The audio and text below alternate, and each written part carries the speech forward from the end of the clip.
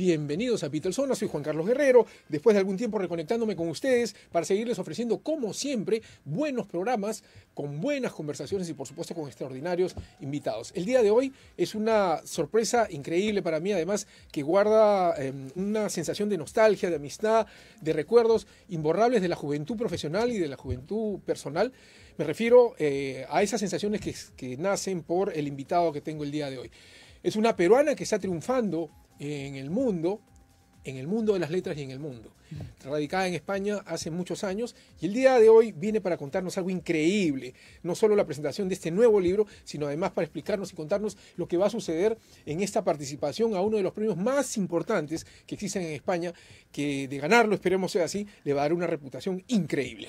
Estoy hablando de mi buena amiga Elga Reate y su maeta que está aquí con nosotros y conmigo después de mucho tiempo nos vemos en Facebook, pero qué placer verte personalmente. ¿Cómo estás? Juan Carlos, amigos, gracias por la invitación. Feliz de estar contigo nuevamente después de algunos años. Seguro. Eh, reencontrarnos recordando tiempos pasados, de, chiquillos, cuando hacíamos prensa. Y lamentándonos del futuro. Sí, hemos estado hablando un buen rato ya fuera de lo que se viene, prepararse a, ese momento de, de, la jubilación y cuando merman todas las capacidades, que uno quiere retenerlas de alguna manera, tú con el ejercicio físico, con tu faceta artística y yo metida en los libros y en las entrevistas literarias. Seguro que sí. Bueno, Elga, todo lo que he dicho, eh, por supuesto, es absolutamente cierto y lo digo de corazón, más, más allá por la, por la amistad que nos une de tantos años, pero eh, hablemosle un poco al público de quiero hablarle de ti, de tu vida, pero em, empecemos explicándole qué cosa es este premio, por qué una escritora peruana está participando y está sabe Dios, a puertas de, ganarlo y de ganar y de hacer crecer su reputación a nivel internacional como escritora. Estoy realmente eh, sorprendida, no lo esperaba. Es un premio que te proponen, o sea, son los socios los que votan por ti. Y la verdad que yo no esperaba absolutamente nada, eh, fue de repente estar eh, en, correos, ese sábado en correos, y, eh, entra una llamada telefónica, no pude contestar en ese momento, y de repente los WhatsApp de felicitaciones. Yo decía, me están bromeando, ¿qué ha pasado? ¿Tú no sabías de qué se No, no, no, absolutamente en absoluto, no sabía absolutamente nada de esto, del, premio. Sí, conocí el premio, a los escritores que alguna vez ganaron, pero no tenía, no tenía idea de que yo estaba participando o que me habían propuesto. Fue llegar y ver la comunicación oficial del presidente de los premios comunicando los candidatos. Y me quedé en la pantalla con los ojos pegados Decía, no puede ser, no puede ser, no puede ser. ¿Tú te imaginas estar allí con Posteguillo, Santiago Posteguillo, actual Premio Planeta y tantos escritores de, mucho, de mucho respeto, de mucha consideración en Valencia, ¿no? Incluso una, una amiga, una compañera que siempre estaba allí en, carrera, ¿no? Y que no pudo obtenerlo, que yo siempre he dicho, por favor. Y ahora estás en, competencia, eh, con, en ella. competencia con ella. Entonces, eh, fue sorpresa, fue sorpresa y alegría porque eh, era la única, la única candidata extranjera ¿no? Claro, de mucho tiempo viviendo en Valencia, pero eh, yo no pensaba que los, los, colegas, los amigos me iban a votar. ¿Cómo se mueven los círculos literarios en España, en este caso en Valencia, que es el, eh, el, lugar donde, donde tú resides? Sí. Estás, estás mencionando tú, he sido nominada para un premio de la comunidad que, me, que de ganarlo, quien lo gane, eh, adquiere mucho más prestigio sobre su trabajo. ¿Cómo funciona eso? ¿Cómo se llama el premio? ¿Cómo, cómo es la estructura? Sí, los premios eh, se llaman premios de la crítica valenciana. Premios de la crítica valenciana. Esto lo da la Asociación de Escritores y Críticos Literarios de Valencia. Es de la comunidad valenciana. Que por supuesto es una comunidad grande en general, ¿no? sí, sí, eh, Castellón, Alicante y la, y misma Valencia, ¿no? Abarca todo, todo ese territorio. Y la verdad que eh, es eso, es eso, que es el, premio de tus colegas, que te proponen tus colegas, eso es muy importante, ¿no? Imagínate que digan, caray, tu obra vale, me gusta, así es que te voy a proponer como candidata. Obviamente tú no sabes que estás, estás allí, ¿no? En, plena carrera cuando sino hasta el final cuando sale la, relación, la terna con, con, los participantes, ¿no? Eh, mira, yo sigo con mi sorpresa. Ya, eh, ya, ya, anunciaron ya eh, justamente al ganador. Al, ganador. Ya, ¿Ah, ya, hay ganador, ya hay ganador. La oh. verdad que yo estaba ya metida aquí en Lima, me olvidé un poco del asunto, estando pensando en la presentación justamente del día sábado. Ya salió y como me decían por allí, pudo haber ganado cualquiera. Ya. Ya.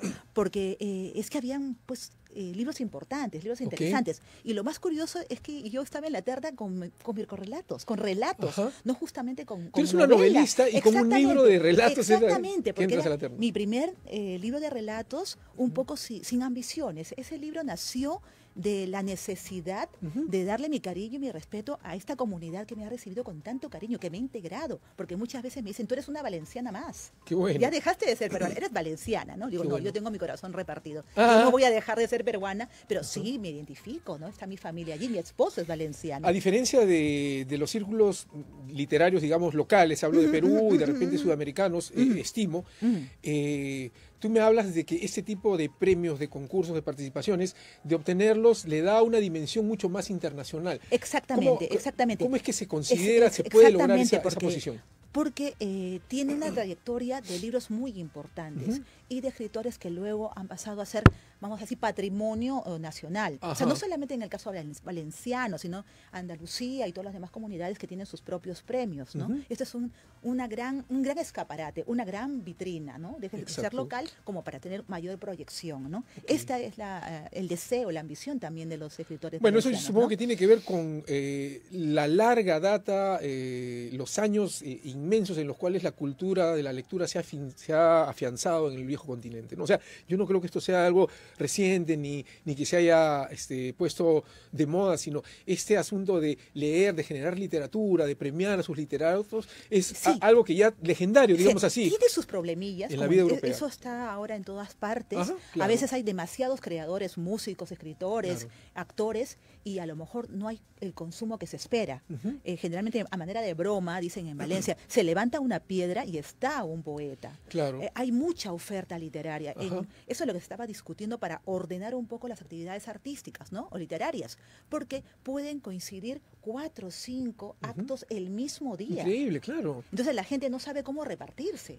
Eso es verdad. Hay que estar disculpándose o a ver con quién tengo mayor afinidad o a lo mejor he ido a este acto anteriormente y ahora está sacando otro libro. Es que es demasiado. Se habló esto en la Consellería de Cultura de cómo nos ordenamos, o sea, cómo hacemos. Digamos en relación a América Latina o al Perú, para hablar de Perú, no, no, no conozco mucho la realidad en general latinoamericana.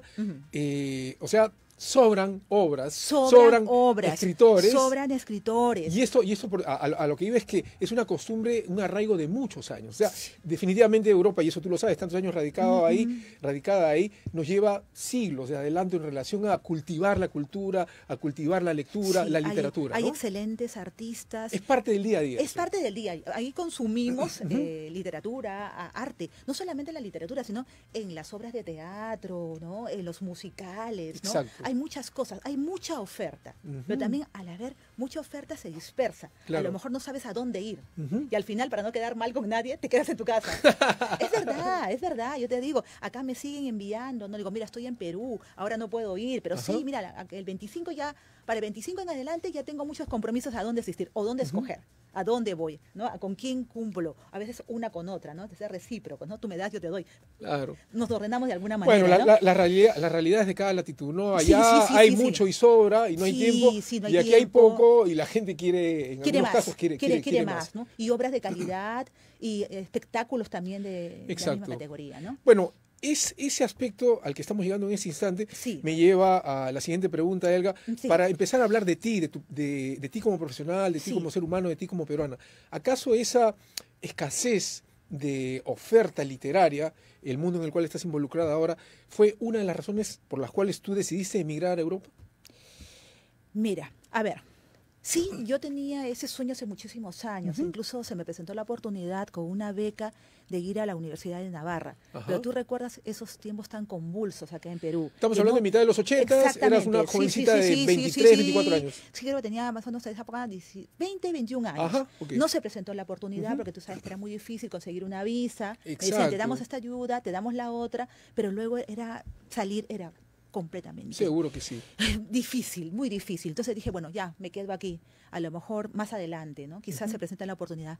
Y tuvieron que pasar muchísimos años para que se diera esas condiciones. ¿Cuántos desde aquel entonces? A ver, esto ha ocurrido eh, um, desde los 80, 87, 88, por ahí, hasta el 2004 porque el trabajo periodístico es el que me lleva, ¿no? El trabajo periodístico y luego eh, también un poco mezclado con el amor, ¿no? Porque era la decisión de dónde nos establecemos, ¿no? Exacto. Entonces, preferí irme, ¿no? Ok, entonces, desde ese inicio del sueño, continúas en este largo, este, interesante, pero a veces difícil peregrinaje del periodismo local. Sí. Continúas trabajando como redactora justamente, en, diferentes justamente, Yo al periodismo le agradezco muchísimas cosas. ¿Es la raíz de todo esto? Sí, es la raíz de todo esto y, creo que en el fondo eh, optar por el periodismo fue quizá mi llamado interno de alguna meterme por, eh, meterme por el lado literario.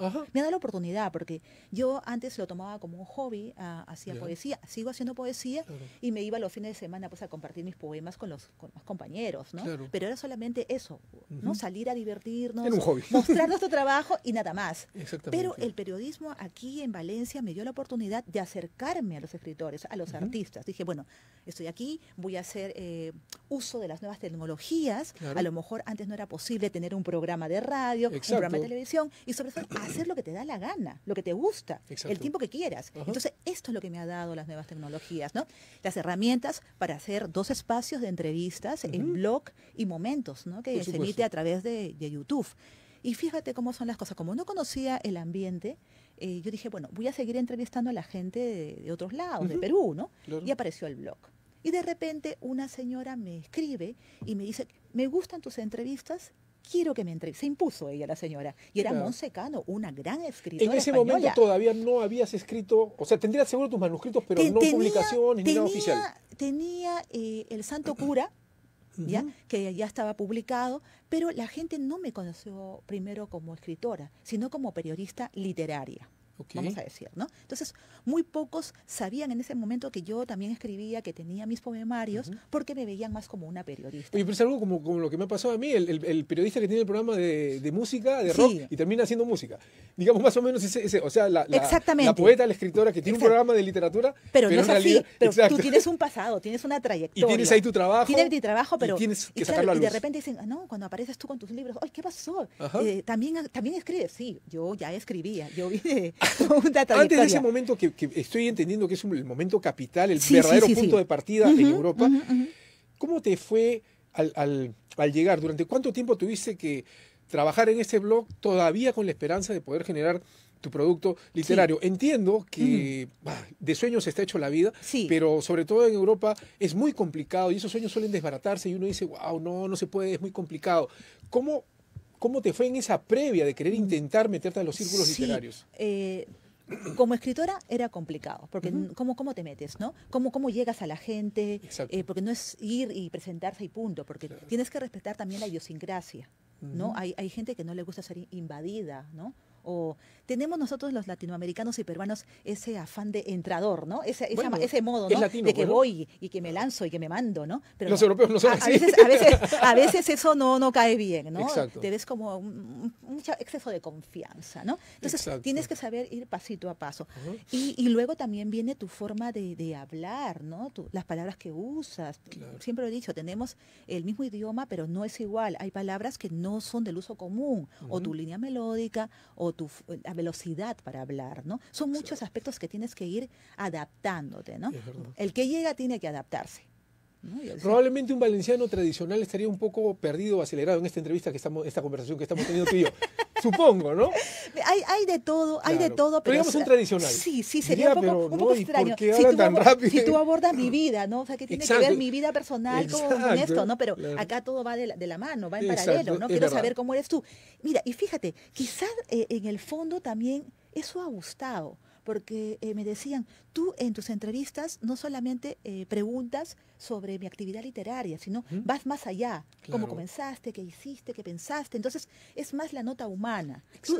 eso nos han enseñado en la universidad. Por supuesto. Pero les parece algo distinto. Distinto de que tú te intereses realmente por el ser humano, ¿no? ¿Qué pasa con él? Eh, ¿Cuáles son las condiciones? ¿Cómo se dio? ¿Cómo fue tu, tu, mundo? ¿no? Entonces, eso gusta mucho. ¿Y acaso ese detalle fue lo que hizo que esta señora con una gran reputación literaria dijera, quiero que me ella, ella fue la que tejió todo, porque luego, ah, me gustó.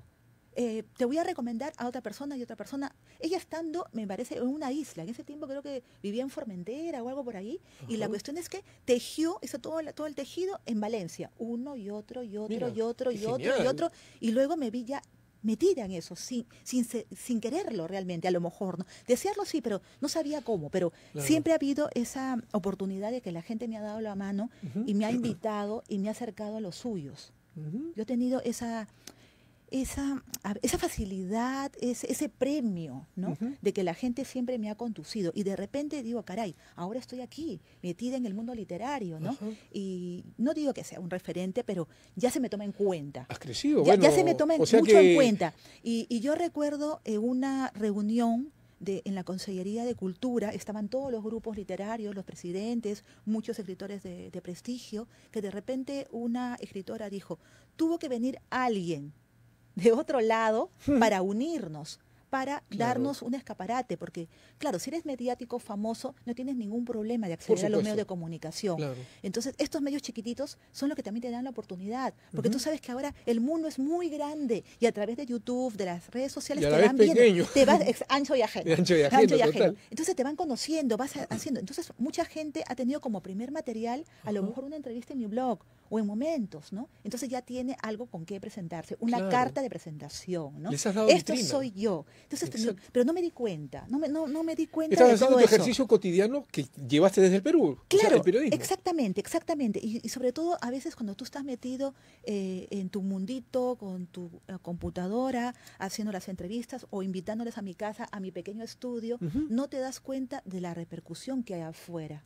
O sea, de la gente que te conoce o de la gente que se te acerca. Y de lo que significa para la gente que vas a entrevistar, para uno. Exactamente. O sea, es importante. Entonces, de, repente aparecieron las editoriales, ¿no? Como Planeta, como Alfaguara, mandando la agenda de los escritores que hacen sus giras por allí, u otras encargadas de relaciones públicas también. Mira, tengo libros y libros y libros que me llegan a la casa. No los puedo leer todos. No tengo un, una gran corporación de medios como para entrevistar a todos. Y no te alcanza el tiempo para publicar. Exacta, exactamente yo por las tardes aprovecho para hacer las entrevistas, investigar, que nos han enseñado a investigar del personaje que vas a entrevistar, revisarme todo lo que ha dicho y armar mi cuestionario para saber quién es esta persona. Oye, dime una cosa, cuando llegue ese, ese momento, esa ese tejido que dices tú que esta gran señora comienza a gestar a partir de decirte, oye, esta persona y esta persona, otra, otra. Bueno, llega un momento en que supongo tú dices, bueno, ya estoy metida acá y ahora, ¿cómo lo hiciste? ¿Cómo hago? O sea, ¿estabas sorprendida? ¿Te sentías en la capacidad? ¿Te sentías eh, un poco... A ver, por ahí me dieron la mano, apelé a mis poemas, porque tú sabes que leer una novela, el fragmento de una novela, a veces no es lo más adecuado. Entonces tuve que echar mano a estos recitales de poesía. Entonces iba yo y ya me presentaba, ¿no? Es narradora y es poeta y, vive aquí en Valencia, ¿no? Y es la que hace las entrevistas, ¿no? Tiene siempre empezando por eso, ¿no? Ah, tiene los espacios, el blog y momentos. Y es eso, que te van invitando, te van viendo. Y Mira, la periodista que también tiene poemas. Claro, y a, lo mejor también, y a lo mejor también es eso de un poco exótico, ¿no? porque, te, pues. te, ven, ay, mira, ¿y cómo has hecho para venir? Y viene de tan lejos. Y estás acostumbrada, y ya sabes valenciano, y un montón, es, curiosidad de la gente. Sí, yo supongo que, pocos pueden entender, o, no sé si muchos pueden entender, oye, pero si tú tienes un blog y estás dedicada a eso, ¿cómo es que te da tiempo para hacer todo, versos? Todo, el, mundo, todo el mundo me pregunta eso. Pero ¿sabes qué? Eh, el periodismo nos da esa disciplina. Exacto, exacto. Esa disciplina. Y, y a leer esa rápido. Versatilidad, y a leer rápido. Ya, ya, ya, lo sabes, ¿no? Ya sabes lo que tienes que preguntar. Es, es la práctica. Qué loco, ¿no? Eh, sí, sí, sí. Estamos bien formados. nos han educado bien, la verdad. es que, ¿te acuerdas en esos tiempos que nos daban el cuadro de comisiones, que eran un montón de tareas, y luego por el viper te mandaban más cosas, y estabas como loco y con los recortes de periódicos? Eso, eso, hasta donde yo sé, no sucede en otros países. ¿ah? O sea, el reportero sale con una única misión para el día. Y con su asistente. Y con su asistente. Sí, y con su, asistente. sí, sí, sí, todo, todo un, y equipo nosotros, detrás. Nuestra generación salimos con 5, 6, 7 comisiones. Claro, y leyendo a la, a, la, a la, pasada del periódico para saber qué sucedía. Y muchas veces cargando todo lo demás que es ocupación del técnico. ¿No? ¿Te acuerdas? La canal y todo eso. Ya, merecemos triunfar, pues en este tiempo ya. me lo merezco, que tú mandas, no, me lo merezco, me lo merezco, me lo merezco. Es que es de verdad. Yo creo que nos han preparado bien, ¿ah? Porque hay que pensar a velocidad, de verdad. Oye, bueno, eh, empieza esta, esta joven eh, periodista bloguera a mostrar sus poemas, sus versos, la gente sorprendida, cómo te adaptas, cómo llegaste. Y ese principio, inevitablemente, lo sé porque te conozco y además por la formación que tenemos, es el empuje, el impulso para decir, ok, ahora es el momento en que yo debo empezar a escribir y mostrarme. Asumo que así fue. Sí, La verdad que yo ya tenía muchos manuscritos en el cajón, que un amigo, escritor Ginés Vera, me decía, Elga, por favor, pero ¿por qué van al cajón? Le digo, están esperando su momento, ¿no? Entonces ahí iban, ahí iban, y cada año iba escribiendo y escribiendo y escribiendo, y ahí en, la carpeta, ¿no? Entonces de vez en cuando aparecía un libro, luego otro, pero mira, apareció El Santo Cura, luego de Ternura y Sexo, que ya dijeron, oh, esa novela, ¿no? Y luego, a este, y luego con los dos últimos realmente creo que ya fue el, el, empujón que faltaba, ¿no? Con el tema de la inmigración. Eh, fue triste y también eh, nostálgica la, presentación, porque se tocaron temas que a lo mejor eh, ellos no sabían, sobre todo de la situación de las familias aquí, lo que lo que espera ya. O sea, fue un abrir, ¿no? De todo ese, ese drama. Y justo llegó en el momento de las pateras que llegaban a Valencia y todo ese problema con, con, los, con las otras etnias que iban ahí, pobrecitos, ahí buscando un, sitio mejor, ¿no? Un lugar mejor, ¿no? y luego, son 15 años ya que tienes eh, sí, desarrollando casi, casi 15 años, sí, sí, sí, sí. Y fíjate que al comienzo decía, esto no me va a conducir a ningún lado, donde a lo mejor estoy perdiendo mi tiempo, va a ser solamente para mí, pero bueno, me voy a entretener contando mis historias, contándome a mí misma mis cosas, ¿no? Y me acuerdo que mi esposo me decía, eh, es que las naranjas demoran en producir toman muchos años. Y siempre me decía eso, ¿no? Porque a veces no encontraba mucho sentido a esto de escribir y, claro, es algo tuyo, Por pero es que tienes que darlo a conocer, tienes que compartirlo. Con tu música también Exacto, claro. tienen que escucharte, tus mensajes, y alguien dirá, Oye, Sí, sí, mira, sintonizo, me identifico, me gusta. Y así ha llegado, un poco si, sin querer, porque han pasado los años, sí, pero han sido años de trabajo. Si, marcáramos los años como puntos de realización, podríamos decir que en 2004 se inicia esta carrera, quizás, si, corrígeme si me equivoco, 2005, 2006 empiezas ya a, tomar vuelo, empezando con tus, con tus poemas. Eh, en adelante, quizás 2008, ya estás escribiendo, ya tienes algunos títulos para, para entonces. Sí, sí, sí, sí, sí, porque, a ver, eh, fue el Santo Cura, eh, que lo escribí el 2006 y salió publicado el 2007. ¿Y en qué año es en que el cual tú consideras se inicia esta consolidación o este reconocimiento? Que dicen, no, ya, él, o sea, Elga dejó de ser la chica peruana que vino y que hacía un blog para entrevistar gente, sino Elga. Yo, creo que, a partir yo creo que a partir del 2015. 2015. Sí, yo creo que a partir de 2015, cuando ya realmente decían sí, ella es periodista, pero también escribe. Y ya había más invitaciones, me, eh, invitaron a formar parte de una gran asociación que es Conciliarte es muy importante, hacen actos realmente maravillosos, trabajan mucho por, por la cultura y luego pues eh, me, invitan también a participar en Clave, que es la Asociación de Escritores Valencianos. Entonces dije, caray, sí, ya soy también parte de ellos. ¿no? Ok, yo diría, por lo que he visto a través del Facebook, lo que, perdón, en algún momento hemos conversado, que en adelante han sido cuatro años de trabajo parejo, duro exigente para consolidar ese, ese posicionamiento que, según tú dices, lo estás consiguiendo. En sí, sí, sí, porque fíjate, allí en, el ambiente literario creo que somos dos, dos escritoras extranjeras, una poeta que no hace mucha actividad cultural, eh, argentina, Laura Giordani, una extraordinaria poeta, Qué raro, Argentina y que no sea mediática. Eh, no, no, no, es un perfil bajo, ah, muy perfil, bajo, perfil bajo, una gran, gran poeta. Yo creo que es ella, su ex esposo también, pero está más orientado a los derechos humanos ahí en, Valencia. Y creo que también una chica que también lleva años, pero recién está entrando también en poesía, Virginia Oviedo. pero creo que eh, son muy pocos los extranjeros, muy pocos, muy pocos, muy pocos. No, yo digo, veo solamente esos cuatro. Aunque sí hubo una, una persona que dio muchas oportunidades y lo recuerdan como maestro. Murió el año pasado. Ricardo Llopesa, que dio oportunidad con su editorial a muchos escritores jóvenes de aquel entonces. O sea, imagínate también otro extranjero que vino un poco también a armar esos grupos, ¿no? a formar escuelas. Bueno, lo cierto es que hoy en día estás eh, digamos, en una posición mucho más, permítanme el término, encumbrada en relación a, los inicios, es inevitable.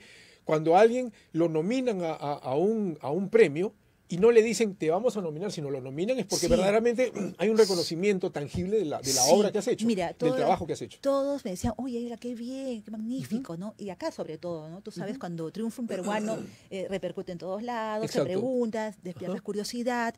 Y es eso, sí, luego me puse a tomar conciencia, dije, sí, imagínate que un compañero vote aquí, ¿no? En unos premios acá musicales. Oye, son los tus compañeros, tus colegas, o sea, de hecho que tiene, que eres bueno. De hecho, tiene valor que yo te diga, oye, Elga, mira, me gusta tu, tu obra, este, creo que te vamos a nominar tiene el mismo valor, pero más valor tiene el que tú no sepas y que de repente este premio tan importante descubras que estás ahí metida. Sí, y me ha vuelto a pasar, fíjate que ayer recibo una carta de la Asociación eh, Rumiñahui de Madrid, donde me dicen, se ha aceptado su candidatura para los premios Mujer Migrante, categoría Arte y Cultura.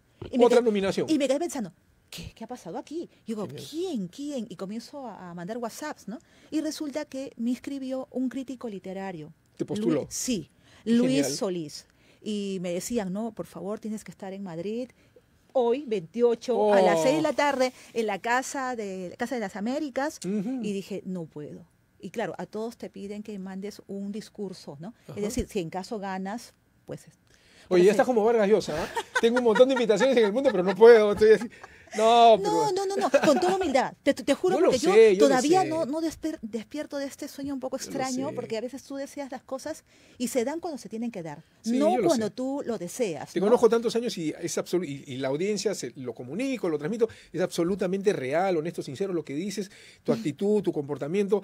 Es que cuando uno ha pasado tantas cosas, digamos, en los años anteriores, y de repente el esfuerzo le permite despegar en otras latitudes, se hace un poco difícil creerlo. O sea, es un sueño verdaderamente. Sí, sí, sí, porque... Pero ahí es donde sobresale la humildad. Claro, es que ahora todo es muy inmediato. ¿Te das cuenta? Eh, ahora esto es ya, ya, ya, ya, ya. ¿no? Y, nosotros cuando ya en nuestra veteranía estamos en, este momento, vamos a decir, cumbre de luz, de reconocimiento. Entonces, como que no, no, no, te, no te sitúas. Y claro, ya tienes más los pies sobre la tierra. Ya has pasado la época del ego, de la juventud, que todo lo quieres y todo lo demás te impones. No, no, ya, ya lo tomas con mayor serenidad.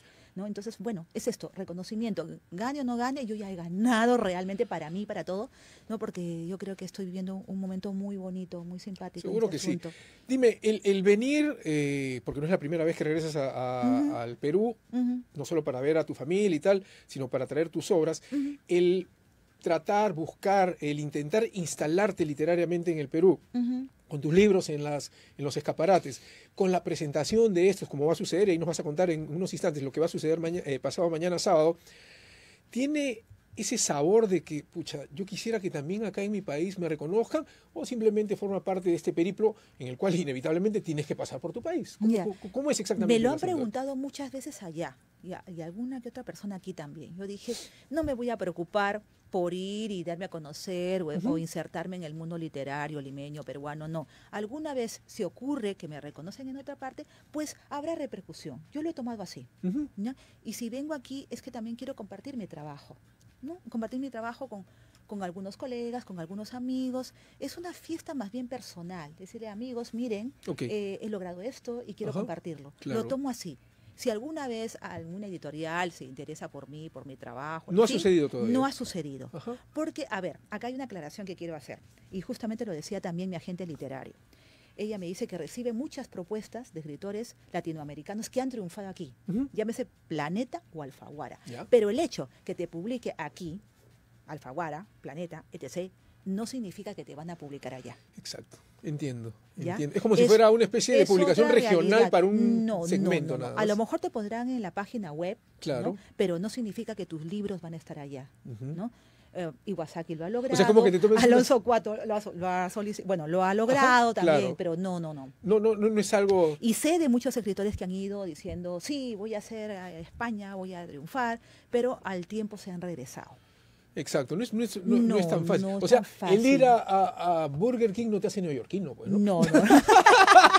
o sea, estás acá en el Burger King de Pardo, ¿no? sí, a veces la gente desconoce esto, ¿no? Sí, pues. Porque, pero no, no, no necesariamente te publican allá. Exacto, pero igual sería, digamos, interesante poder tener una publicación acá en alguna de esas, de esas prestigiosas editoriales. Sí, por eso yo alguna vez cuando vi, eh, a, los comienzos, cuando llegué, vi el libro de Alonso Cueto y me animé a escribirle. me, da alegría ver en un escaparate o en una mesa títulos de autores peruanos. A mí me alegra muchísimo. Genial, Porque tenemos que tener otros referentes, aparte de, de Vargas ¿no? ¿Dónde te sitúas tú en, un ámbito voy a utilizar este término, ¿te, sitúas en un ámbito de la literatura comercial o estás en el ámbito clásico de la literatura cultural? ¿Dónde, dónde, te ubicas? ¿Dónde se ubica tu trabajo? Ya, yo soy consecuente conmigo misma. Yo escribo lo que quiero. es, mi tema, es mi tema. A mí no con modas, que voy a escribir un thriller, una novela negra, tal vez alguna vez, pero no es lo mío. ¿Y dónde terminan asentándose tus novelas? ¿En cualquiera de estos? Mira, hay, gente que, hay, gente que, me dice... Eh, eh, mira, lo tuyo va más por lo romántico o lo tuyo va más eh, culturoso, ¿no? Y le digo, yo no me veo en ninguna parte, yo simplemente escribo. Y a lo mejor mi, literatura tiene sabor latinoamericano. Es de donde soy. Por supuesto. O sea, son mis orígenes. Eso está en tu. E, e inclusive cuando me han corregido algunas veces, no le digo, respeta mi forma de escribir peruanita. Exacto, claro. Latinoamericana, con mis modismos limeños, aunque alguna vez me dijeron, oye, bájale un poquito, ¿no? demasiado, ya demasiado. ¿eh? cargado, así es que tal vez alguna que otra cosita. Aparte que nuestro, nuestro lenguaje, nuestro habla, ha evolucionado. O sea, es que las palabras... Hay muchas más palabras latinas en el real Exactamente. Yo ya veo aquí, yo ya veo aquí, no, no solamente tomadas de otros sitios, ya no son tan peruanas, ¿no? Porque ahora me encuentro con el apapacho, ¿no? Claro. O el trucho, que es argentino. O sea, hay el una, y aparte que somos muy creativos. Allí la jerga no evoluciona mucho, casi nada. Son las mismas palabras que vienen desde antes. ¿no? Entonces tú no te das cuenta de, de la evolución. Pero acá tú vienes y tienes que estar preguntando, porque yo creo que el término calichín también ha evolucionado. Y pulpín que al comienzo creo que significaba una cosa y ahora ha evolucionado, ¿no? Se ha extendido y significa muchas cosas. Bueno, salió por identificar a los chiquillos, que a los más chiquitos que tomaban un refresco que se llama pulpín. Exactamente. Y terminó siendo una identificación de una generación. Exactamente. Entonces yo vengo aquí y tengo que reaprender también, porque es que somos muy creativos. si fuéramos más creativos para el bien, ah, sería fantástico, porque la, criollada y el pepe el vivo y todo lo demás, pero es que es muy creativo a, mí me pareció genial lo de Chihuahua. Genial. Ahora con la señora Arauz también que hay otra cosa, creo, ¿no? Pero es que te, has dado cuenta que esa creatividad que es interesante, que llama la atención en el extranjero, sí. solamente es lo que yo pienso, tú me dirás si estás de acuerdo o no, si él tiene solamente asidero local, o sea, porque un peruano que sale con esos argumentos no consigue instalarlos en la realidad de otros países. Me da la impresión que es así. Por ejemplo, a mí O sea, la criollada creo que no ah. funciona en Madrid. No, ¿Mm? no, porque e incluso yo también lo identifico ahora, ¿no? A veces cuando veo a un peruano que viene a palabrearme, ¿no? Eh, ve al punto, no me enredes, no ve al punto. ¿Qué, es lo que quieres decir? A ver, exacto, céntrate, céntrate, respira, ¿no? A ver, entonces ya e, eso me incomoda ya, quizás porque ya estoy mucho tiempo allí y vamos siempre al punto. Exacto. Céntrate, esto es lo que quiero, ¿no? Eh, esto es lo que te quiero exactamente eh, decir, ¿no? Pero pues. esto no... es muy local, pues el asunto es muy local. Por eso es acá es divertido, nos encanta, cuando salimos y venimos nos, nos Mira, hay veces que yo suelto una u otra palabra peruana, eso lo de la chompa, no puedo con lo de la chompa, no puedo decir jersey, ¿no? me sale. O sea, lo del caño, lo del Exacto, que es el grifo. claro, el grifo. el grifo es donde echan la gasolina. Exacto, lo del tacho, ¿no? Eh, yo me acuerdo que utilizaba mucho, eh, no te arrebates, ¿no? Y había mucha gente que me decía, a ver, repíteme otra vez la palabra. ¡Ay! Arrebato, ¿no? Arrebato, ¿no? O me decían mucho que a mí me escandalizaba lo de, bueno, se puede decir una, un, un dale, el culo. Entonces, eh, mi jefe allí en, página, en el diario donde estaba, eh, me decía, culo, culo, culo, culo. Pero para ellos es... Pero yo, es que realmente me, sentía tan incómoda, me sentía tan mal, ¿no? Mm. Y hasta los pequeños, ¿no? Eh, me caí de culo, ¿no? Claro. O es, es, es, mira, claro, choca muchísimo. En fin. Al comienzo, eh, acostumbrarse, choca, choca, choca. Bueno, lo cierto es que estás de regreso por pocos días visitando a la familia y para este sábado, no sé en qué cámara, Pedrito, por favor, para, para mostrar. A ver. A ver. La fugacidad del color. Sí. ¿Ok? Ese es el libro que Elga va a presentar. Ahí estoy, ¿está bien esa cámara? Ya. Ahí, ahí lo vamos a ver. Cuéntanos un poco de qué se trata y de qué va a tratar el evento del día sábado, Elga, mientras ahí, ahí van a ponchar. Ahí, está, ahí está la fugacidad del color. la fugacidad del color. Escrito por mi amiga de años, Elga Reate y su maeta, ex periodista. No es periodista, no, periodista de toda la vida. la persona, la, periodista que me hizo la primera entrevista en relación a mi trabajo Qué musical. chiquillo estaba. Yo ya tengo todavía eso guardado ahí. Estoy agradecido eternamente por Qué eso. Qué expreso, sí me acuerdo un lujo porque cuando ganes de repente un Nobel voy a decir, el Nobel me entrevistó a mí sobre mi música.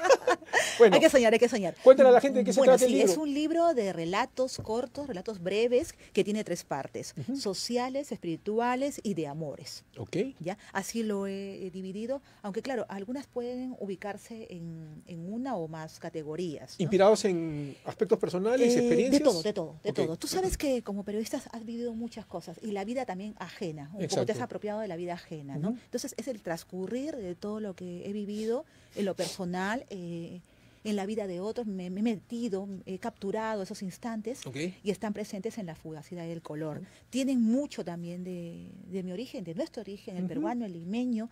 Me dicen que no se me va la cuestión periodística, que está muy presente. Yo valoro, reconozco que todo lo que sé se lo debo al periodismo. Yo no he ido a ningún taller de literatura, a ninguno. Creo que lo que me han enseñado los maestros me ha servido y me sigue sirviendo hasta ahora. ¿Eres autodidacta en términos literarios? Sí, sí, sí, sí. sí. Genial. sí, eh, es verdad, eso sí, eso sí es lo, honesto decirlo.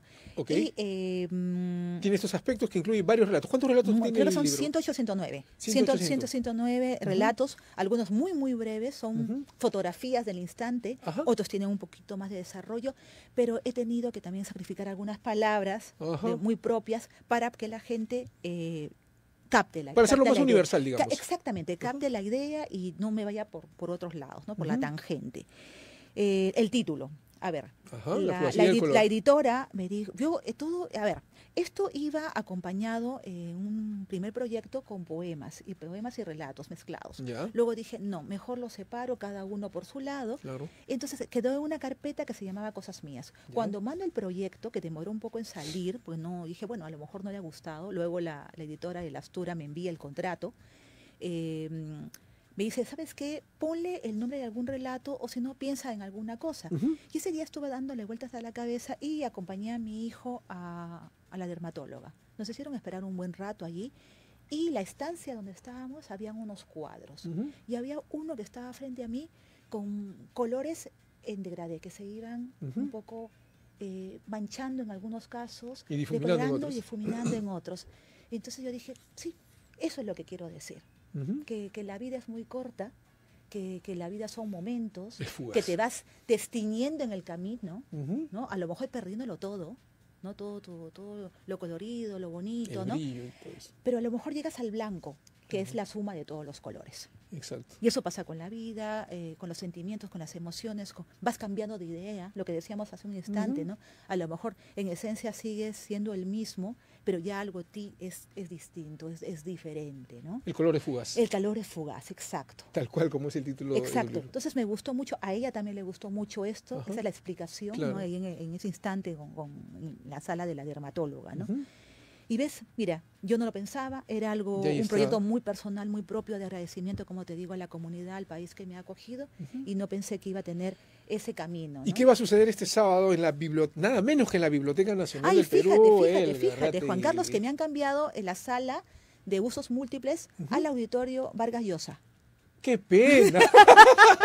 Qué feo. O sea, un sitio donde iba a ser, había poquita gente, van a tener un sitio donde había un montón de gente. Yo dije, no creo que lo llene, por favor, ¿no? Me dice, no te Pero preocupes, que solamente van a habilitar eh, la, la, platea, ¿no? Pero la foto va a ser excelente. Oye, a mí Dios mío. te agradezco porque me vas a... Además quiero contarles que Elga me ha incluido en esta lista de honor para leer algunos de los sí, textos. Sí, algunos de los relatos. Y qué chévere que me va a subir ahí. Impresionante. Gracias. ¿no? ¿eh? Gracias. Entrega el Oscar, ¿no? Entrega el Oscar. Por, tal cual. Bueno, va a ser en el Teatro Vargas Sí, el día sábado, que lo van a abrir para un evento literario por primera vez. No hacen Se está marcando pauta.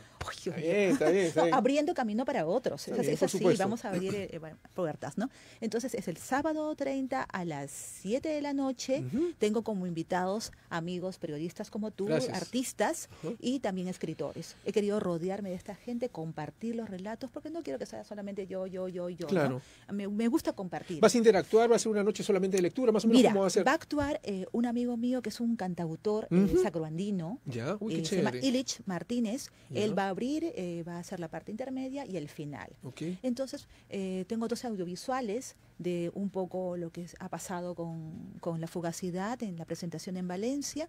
Luego también un vídeo con el prologuista de la obra que me hizo el honor, el señor César Gabela, ganador del periodo Vargas Llosa y un montón de premios, que la verdad que cuando fui a decirle, César, ¿tú crees que me puedes hacer el prólogo? Yo dije, no, a lo mejor no, no tengo tiempo, estoy viajando, qué sé yo. Mejor, encantado, Elga, mándame el proyecto. Uh. Y, creo que utilizó su verano para hacerme ese maravilloso prólogo, ¿no? Con, el que me ha honrado, ¿no? y le están los amigos, van a salir los amigos en tres, tres grupos. Em, voy a decir algo de ellos, que me liga, porque los motivos por los cuales le he invitado, va a leer, algunos querrán a lo mejor comentar el, relato que le está tocado, pero es eso, un compartir, un reencuentro Eso es lo que he querido. No me digas qué vas a decir de mí porque... ¡Ay, por favor! Hay tanto... Yo, ¿Qué ya, vas a decir? Ya, ya, ya, te he alabado, mira. Ya, no, ahí eh, nomás. Ya, prefiero escucharlo. Dime, ¿eso es abierto al público solamente esa reunión? no, no, no, no, no, ingreso libre. Ah, ingreso libre, ¿no? Me gusta compartir con todos. Eso es buenísimo, claro. Vamos a conversar. Quiero que caiga mucha gente Quiero que me pregunten también, ¿no? Porque es, es bueno, eh, no aconsejar, a ver, dar las pautas o a lo mejor decir, este camino me ha servido, a lo mejor inspírate y haz el tuyo. A lo mejor puede resultar. Los sueños se pueden cumplir.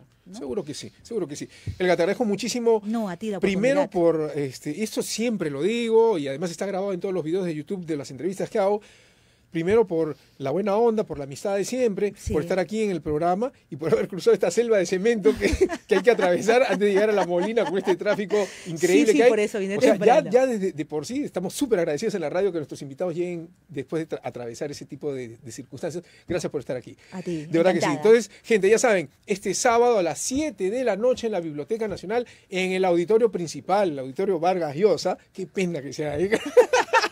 Va a ser la presentación oficial del libro La fugacidad del color de mi amiga Elga Reategui Sumaeta, que es escritora.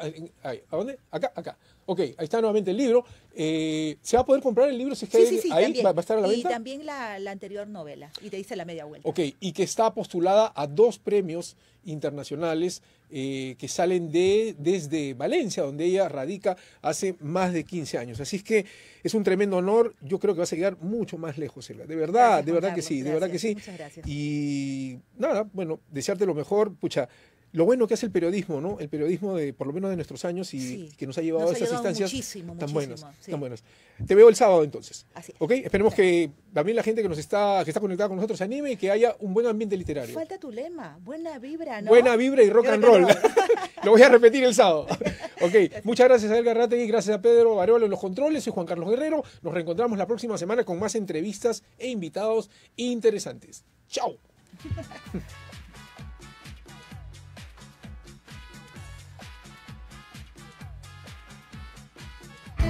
Como tú, muy decidida ingresé por primera vez por esta puerta. Quería construir mi mundo, a mi medida. Bienvenido a mi mundo, bienvenido a tu mundo.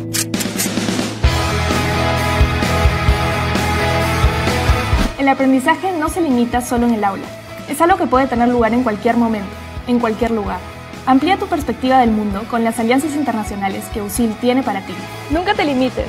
USIL te da las herramientas que necesitas. Diseña tu propio camino.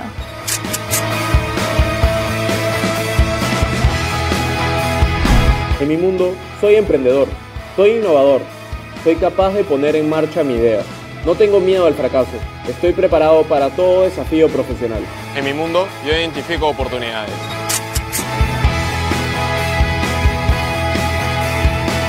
Soy consciente del mundo que me rodea y el papel que quiero desempeñar en él. Tenemos voz y podemos usarla para el cambio. Comprométete con el desarrollo sostenible del Perú y del mundo. En mi mundo pongo en práctica ideas que aporten a un mundo mejor.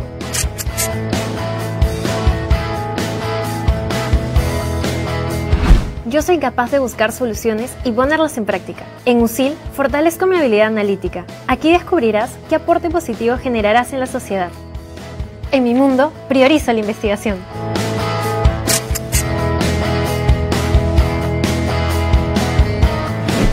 Es tiempo que vivas tu mundo tal y como lo imaginaste. Desde el primer día, potencia a través de los pilares USIL y cada una de tus clases.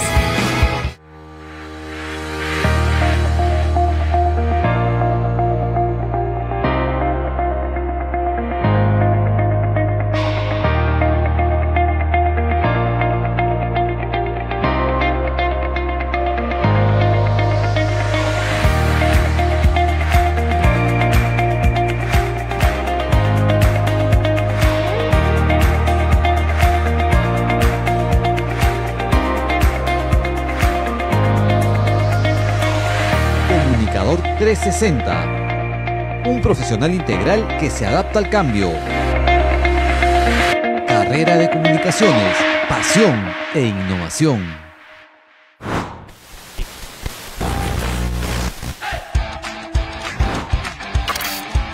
Somos comunicación. Somos innovación.